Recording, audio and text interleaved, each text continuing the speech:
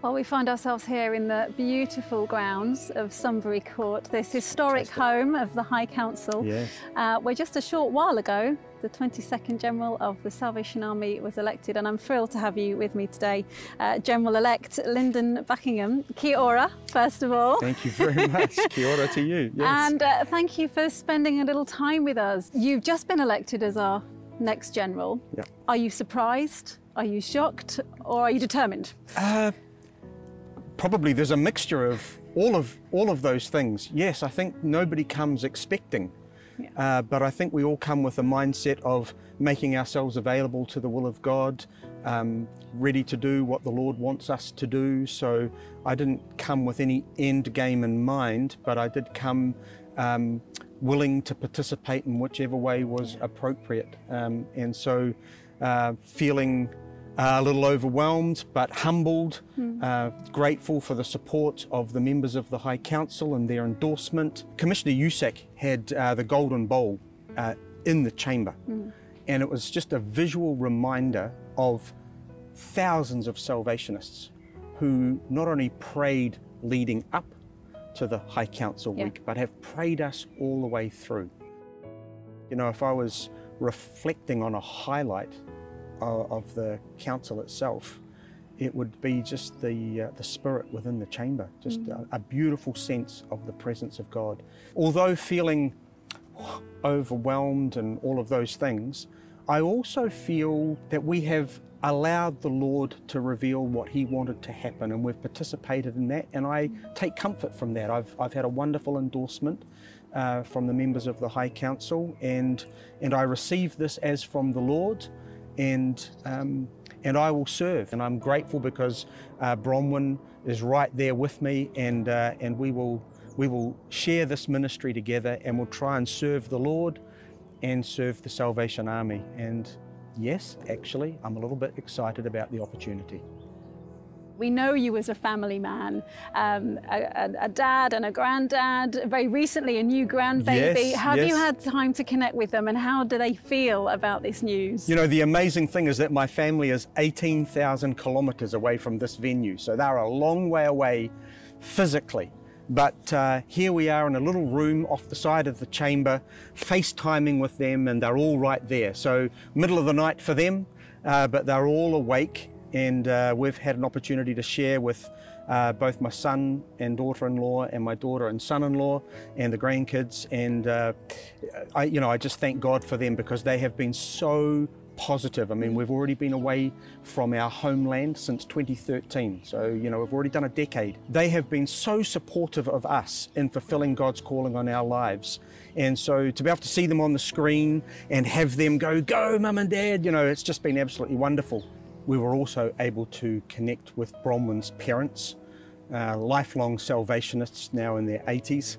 So they were still up in the middle of the night, ready to receive our call. And of course, they were also, you know, overwhelmed and, naturally very proud. But can you tell me a little bit about how you came to faith in Christ and how you were called to officership?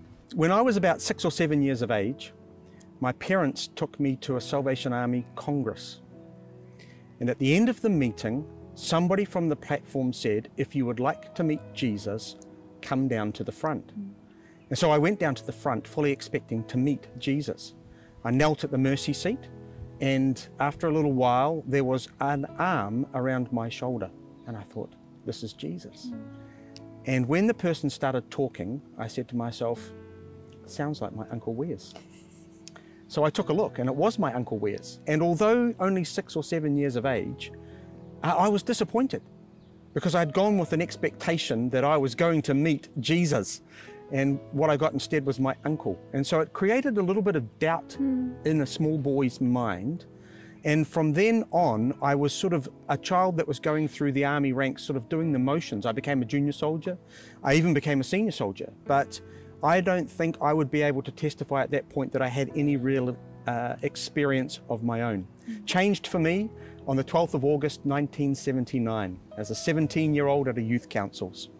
And it was in that meeting that the realization of God's love for me in the person of Jesus Christ absolutely came alive. I mean, I just burst with this understanding. It was it was more than just mental. It was in my heart. It was emotional. Uh, I was full of repentance. I was full of sorrow. I was full of joy. It was like it is real. It is for me. It's and so I made my way uh, down to the mercy seat, and uh, it's a strange thing, Jo. I was I was crying and I was laughing, and uh, I had all of these emotions going on all at the same time. The love of God burst into my heart. That's what happened for me. And uh, I came into a saving knowledge of the Lord Jesus Christ, and I believe uh, an experience of the Holy Spirit. And so impactful was it for me that I didn't wait to be called to be an officer. Before that meeting was over, I signed a little candidate's covenant wow. that you tore in half and kept for yourself and gave uh, the other half to the candidate secretary, and I still have that piece of wow. paper in my Bible. One of the things that will be very important in your role is to be an inspiration and an influence. Mm. Who else influenced you in your life? Yeah, I, I had so many influences that it would be difficult for me to name, but I would say faithful salvationists who took an interest, who took time to listen, mm. uh, who um, were honest uh, as I was growing up local officers that put an arm around and said, come on, get back into line. Very, very helpful in my upbringing. My own parents, I would have to give testimony to, my officer parents uh, who loved us and trained us in the ways of the Lord, huge influence. These are people who the Lord sends along to help us in our spiritual journey, in our discipleship, maturing. They shape us, you know, mm. and uh, I'm grateful. There have been many, many influences, mm. and uh, I thank God for every one of them. So I asked some of the young people from my corps, my church, what would they like to ask the General Elect? And this is what they wanted to know. What would your school teachers say if they could see you now? Uh, they would not believe it. they would not believe it. I think that even if my father was still alive, he wouldn't believe it either. So I think I will have confounded them because I was not a good student. By necessity, your speech to the High Council is kept private. It's not shared with the Salvation Army world. What one thing, though, would you want to share with your Salvation Army family today? I think one thing that I would feel very confident in sharing, because it's not confidential, is that I expressed my love for what I call the three big ideas of the movement. And by that I mean one, um, we're a people that love to talk about Jesus. We want people to know that God loves them and that Jesus is the ultimate proof of that love. And so I love the fact that the Salvation Army has always been about recognizing our responsibility to share the good news of the gospel mm. that, that God loves them, that Jesus is the proof, and that welcome is available through him. I would pray that Salvationists all around the world would find it very natural and easy to be able to speak to others about their personal relationship with Jesus Christ and the transformation that He has made in their lives. That's a big idea of this movement. Mm. Uh, we want people to know the good news that there is life, there is purpose, and there is hope, and there is eternity through faith in Jesus Christ. And uh, if we could get excited about that around the globe, think about the impact of that.